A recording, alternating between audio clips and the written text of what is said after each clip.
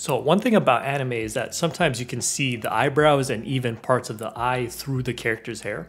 And this is not by accident, it's an actual design choice. But you might notice with Blender, it's 3D, so the eyebrows will naturally be blocked by the hair. But obviously, we want this to not happen. We want the eyebrows in front. So I found a few ways to do this, and they all have different strengths and weaknesses, but if you want to learn how to do it, I'm about to show you right now. Now the first way I'll show you is through compositing. And basically what this is, is we tell Blender to render certain parts of the image over others. Now for this to work, we need to first go into render properties, then film, and make sure transparent is checked. Then we have to set up our collections. So as you can see, I have three collections here, which is the over, under, and then everything else. In over, I put the parts that I want to be shown through the hair, including my eyebrows, eyelashes, and the iris of the eye, which you don't have to include, but that's up to you. And then in under, I just need the bangs. You can isolate the bangs in the collection because you might not want the eyebrows to go through other parts of the hair. But again, that's up to you. Then everything else you just put it in the other folder. Then we have to assign all of these collections to different view layers. So you might not know about view layers, but everything you need is up here. All of this is already one view layer, but you can create new ones by going here and clicking add view layer. And we have to create two new view layers, one for over and one for under. So add view layer new, then you can name them over and under just to make it easier for yourself, but I've already done this. So I'll just show you what's in each layer. So in under, literally all you do is untick everything except the under collection. So let's untick this box and untick this box. And we'll just be left with under. And you'll do the same thing for over, which you'll untick all the boxes of the collections except for over. And then you'll be able to clearly see what's gonna be over, what's gonna be under, because it's gonna show up right here in your viewport. Now do note that they do have to be in collections, because that's the, that's the only way this is gonna work. And for the checkboxes like that to show up, you'll notice that they don't have this for just single, single objects. Then after you've done all of this, you wanna go over to your compositing tab up here. And then this will be unchecked, use nodes. You're gonna wanna check it. Then you can just pause this right now if you wanna copy this whole node setup, but I'll quickly show you how to set it up. We just do Shift A to quickly add nodes, starting with a composites. Shift A again, add a viewer. And this is just so we can, you know, render and see our final result. Now Shift A again, add render layers. And you're gonna wanna duplicate this twice. So I'm using Shift D to duplicate, Shift A. Last thing you'll need is an alpha over. And you're gonna wanna duplicate this once. So you'll have three render layers, two alpha overs, viewer and composite. First render layer should be everything. Second one will be the under layer. The third one will be over.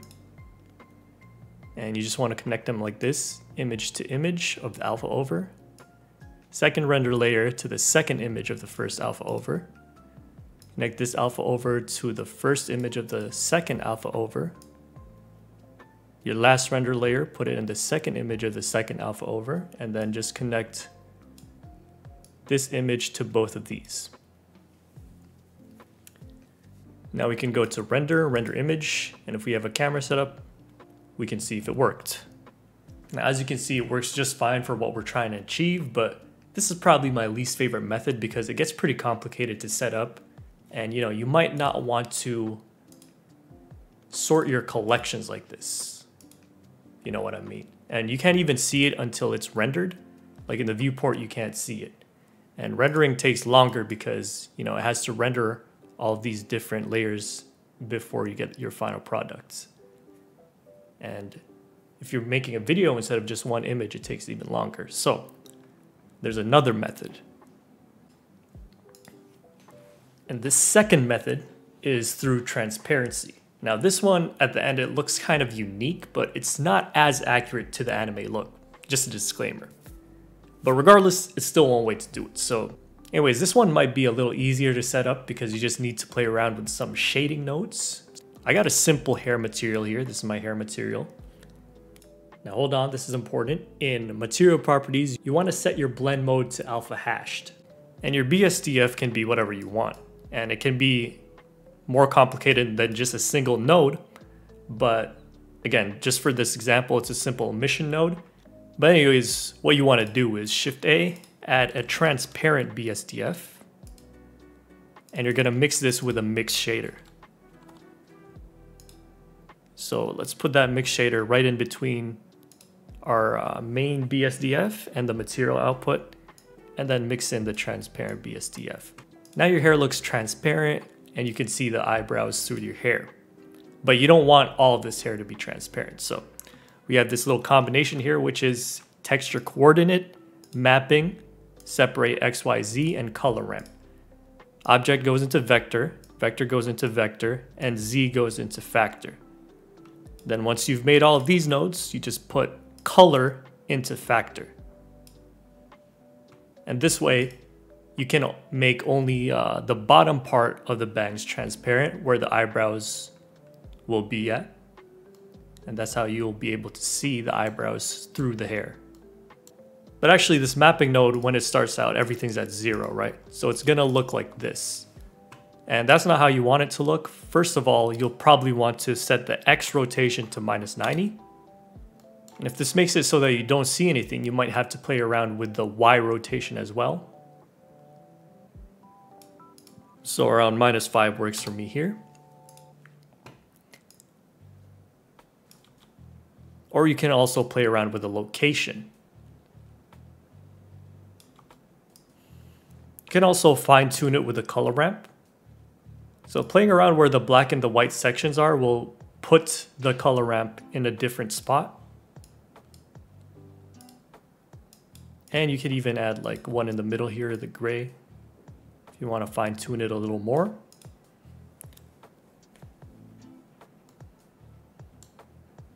But that's what the end result will end up looking like.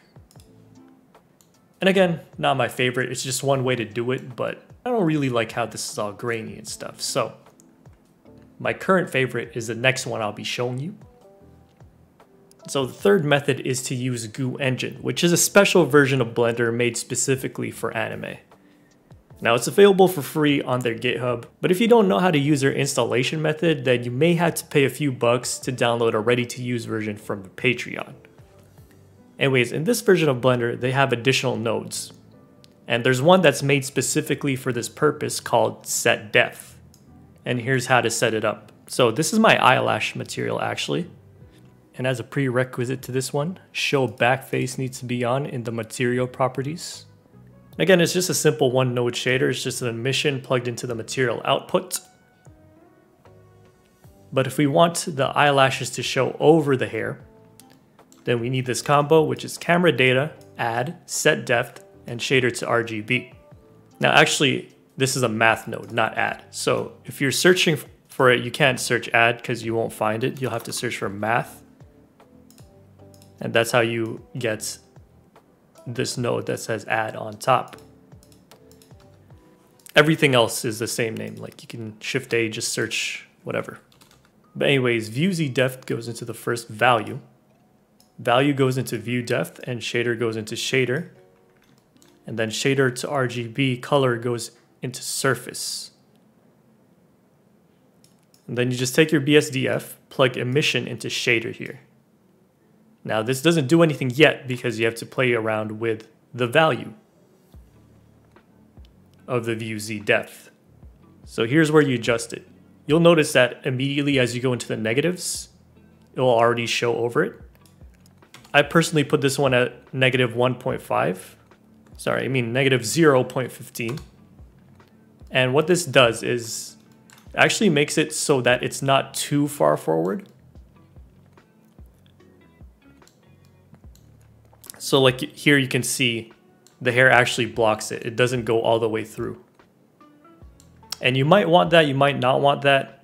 If you don't want that and you just want it to always show through, just use a higher value and it'll always like just be in front. And then you just repeat this for whatever other materials that you want to show in front of the hair. The disadvantage of Goo Blender, of course, is that you have to pay for it if you don't know how to install it yourself.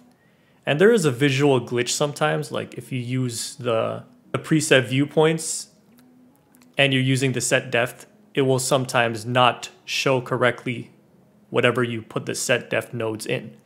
But it's going to be fine in the renders. And also, once you rotate it, it's, it's, it's automatically going to fix itself. But I will remind you though that the first method is free and can accomplish pretty much the same thing.